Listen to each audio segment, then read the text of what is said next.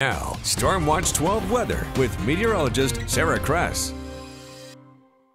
Yesterday, we definitely felt that heat, getting up to about 91 into Medford, 93 down into Montague, 90 in Grants Pass.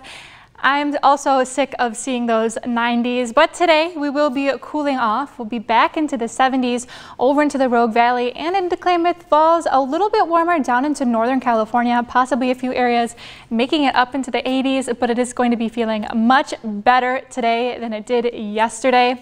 We can also expect to see those breezy conditions as well and a few of those clouds making their way through. This morning, we started off with a few clouds into the sky. Those will definitely be clearing out by the time we head into those afternoon hours and take a look at that. Just a few upper level clouds pushing through the area today, but it is going to be bright and sunny. So definitely don't leave the house without your sunglasses today because again, it's going to be very bright out there. Definitely seeing those blue skies today. But again, wind gusts will be picking up. We are going to see some of those gusts starting out this morning along the coast with overnight. And as we head into the second half of today, again, we're going to see a lot of those breezes begin to pick up into those afternoon hours. Even over into the Rogue Valley, we're going to see some of those afternoon breezes. But the strongest gusts are going to again be over east of the Cascades into Lake County.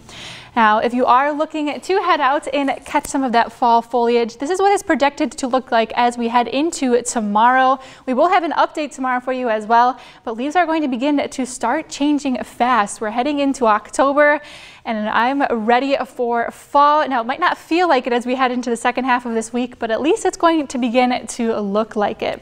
So if you are heading out to maybe go to a pumpkin patch today. We are going to see temperatures again start out pretty cool this morning into the 50s, getting into the mid 60s by the time we hit noon and by 5 p.m. finally getting the, into the 70s and won't be feeling too bad tomorrow. Definitely going to be feeling cool. Definitely need some apple cider with your trip outside or if you're heading out hiking, definitely going to again need those sunglasses for tomorrow. But let's go ahead and take a look at your seven day for the coast.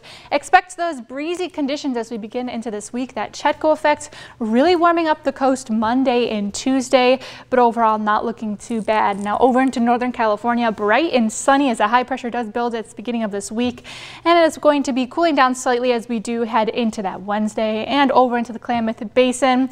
Warming up as we head into Tuesday, then cooling down slightly, but temperatures are going to remain very similar to each other for the rest of this week. And same deal over to the mountains, but Tuesday making it up into the 80s, quite warm. And we'll see those bright and sunny conditions as we do head through this week. And finally, back over into the Rogue Valley.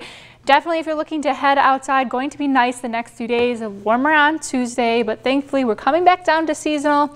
And possibly as we do head into the second half of this week into the weekend, possibly tracking some chances for showers, but right now it is looking dry. We'll make sure to keep you updated as we head further into this week.